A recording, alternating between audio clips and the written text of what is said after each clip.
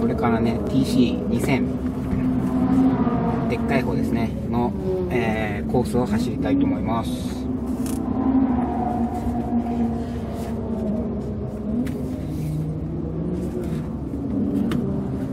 車はインプレッサ GDA です。えー、大体250馬力でえー、とバックストレートで大体160キロぐらい出ます。うんともう、えー、と2枠走って次最後の枠なんですけどもとりあえず1枠目は初めてっていうことで、えー、1分15秒でした。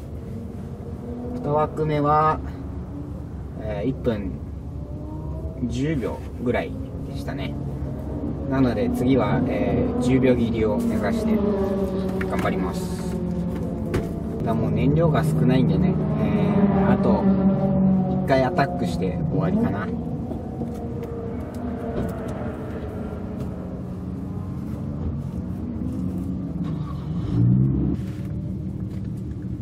ちなみに、えーと、このナビのところに携帯を貼り付けてるんですけども、えー、ここにラップタイムが出るようにしてあります。仕組みはまあ外付けの Bluetooth の端末あ GPS 端末で Bluetooth で送ってラップタイム表示となっております。ベストが今1分10秒792ですね。